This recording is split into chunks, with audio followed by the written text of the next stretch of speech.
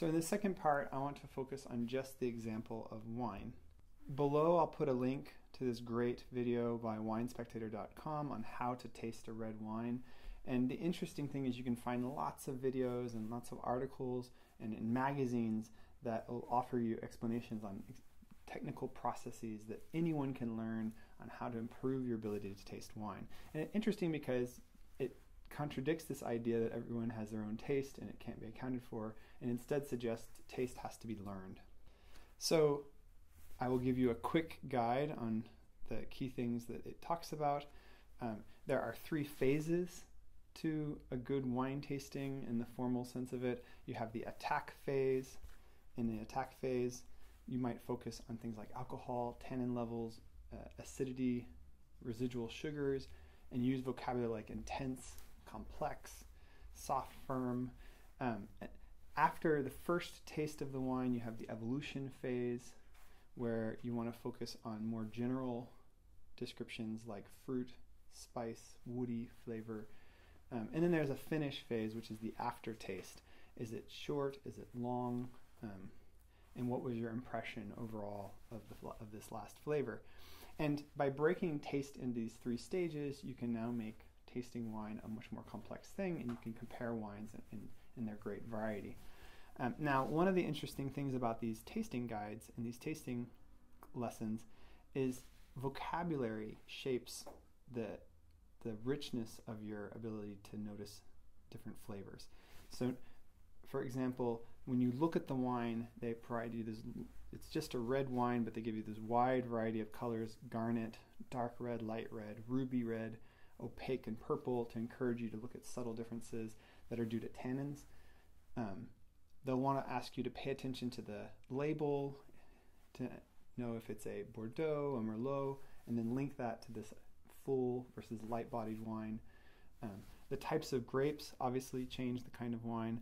Um, but the interesting experiment, if you can try a wine tasting, I encourage you to do it in your home, is if you, instead of thinking of it tasting like red wine, and start to think about what other flavors are mixing in there, you'll start to notice that with the vocabulary they offer you of citrus, blackberry, uh, oak, um, strawberry, and licorice, it trains you to pay attention to more subtle um, descriptions and makes you conscious of them and then in many cases where before you might not have tasted them, now you suddenly taste them. Now, the industry around uh, around advice on how to taste wine is big, and perhaps the most famous person is is Robert Parker, Bob Parker, who uh, has a, a, magazine where he gives a 10 point, a 100 point rating system. In the in the 100 point rating system for every wine he tries, they get a score. It has been incredibly successful in the United States and incredibly controversial in the wine world. Um, there is a documentary called Mondovino, and in Mondovino, they argue that Rob Parker and these tastemakers, their influence on the American market has started creating pressure on more traditional winemakers to conform to particular standards of taste and standards that aren't necessarily traditional. Um, so Bob Parker is famous for liking oaked wines. Um, oaked wines tend to hide the youth of a, of a red wine. And so one of the criticisms is that he's favoring new producers who create young, cheaper wines instead of the older, more charactered wines. His use of a 100 points uh, rating system is also interesting because it is kind of arbitrary. Why 100 points? Um, the more traditional scoring system before was on a 20 point scale, so one of the questions is why is this 100 point scale more successful? I think part of the answer is for people who are used to a 100 point scale grading system, it's intuitive. It works on our ideas of percent. But obviously a wine that moves from 96 to 95, um, the difference is pretty arbitrary. Even comparing wines below 70, does that mean they are a fail? Um, so he transforms qualitative taste questions into this quantitative language that is, on the one hand, very attractive, on the other hand, um, unclear about why this is better. Now, he is aware of this, which is why he puts in a proviso on his website saying that scores do not reveal important facts about a wine. Um, you need to have the written accompaniment uh, that describes why they gave the score it did.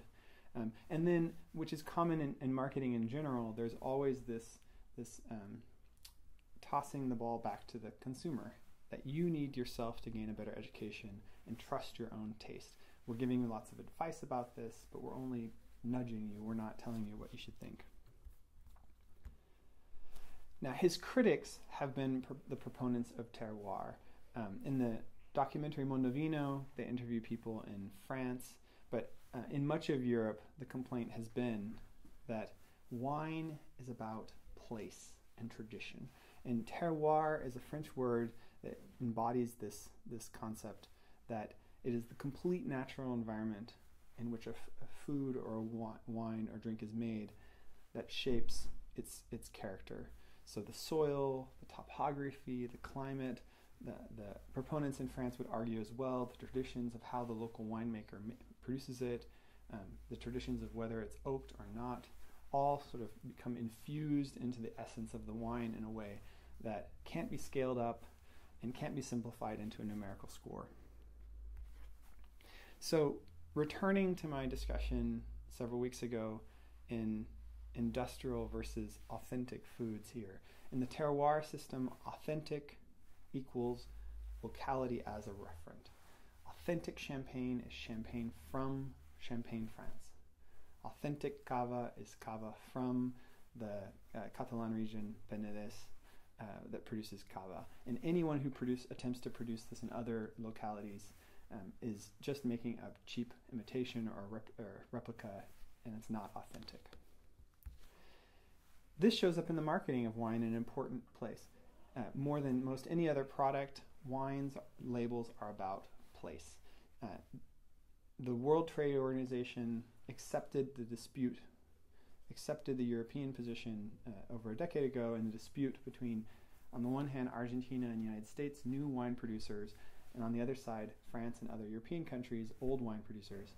And the World Trade Organization agreed with France and other countries in saying that denomination of origin is meaningful and that the French have a right to protect their label as a kind of region based brand. Um, and so Argentina can't make a champagne, the United States can't make a Bordeaux or a Bordeaux style wine. These are something that belong to that place.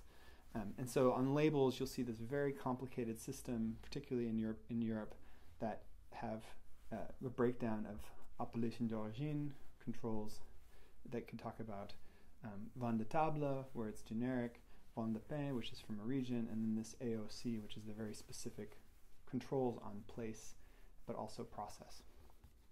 But the wine industry innovates. Um, in some ways, you can think of wine as suffering the same problems of marketing that other drinks beverages like Coca-Cola suffer and trying to incorporate new technologies.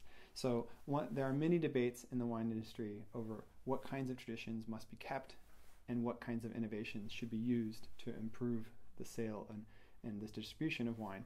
And to cork or not to cork is one of these debates.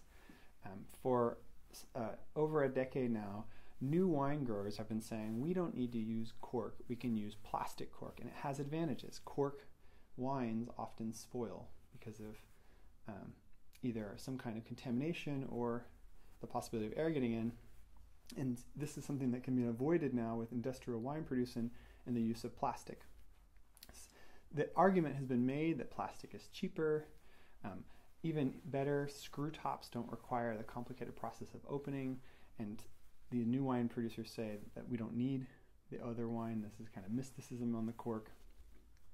Now, having lived in Spain, I would like to add that uh, there is a kind of irony in these movements of pushing plastic over cork.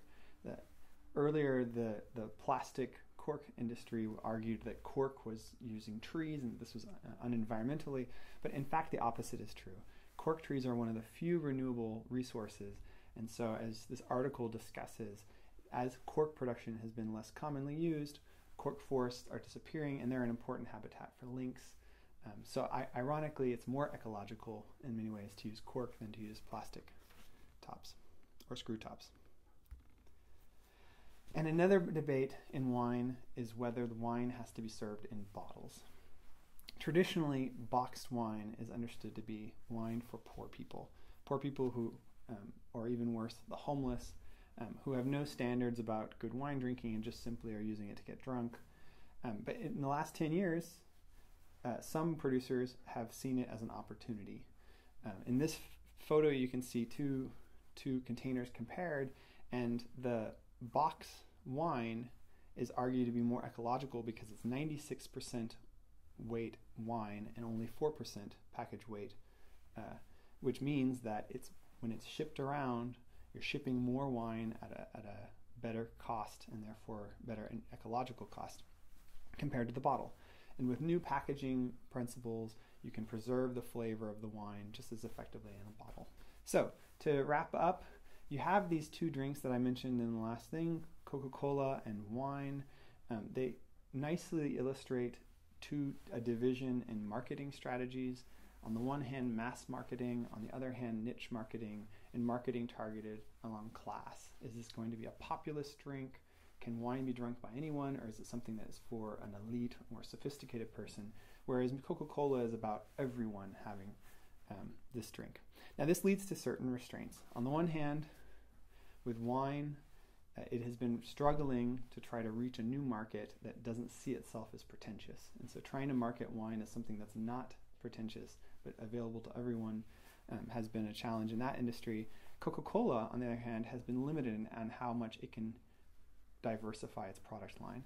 You can see in this image a green can for Coca Cola Life product. This was not a successful product. It was intended to be a low calorie drink, and the green was kind of play with a new kind of iconic image. Um, but consumers didn't like it. And there's a famous failed experiment in Coca Cola where they sold a blue can. And apparently, the reason why the customers on taste test didn't like it is because they thought that Coca Cola had changed the recipe part of the psychology of tasting Coca Cola was the recognition of the red, and that by changing the color of the can, suddenly people tasted it differently.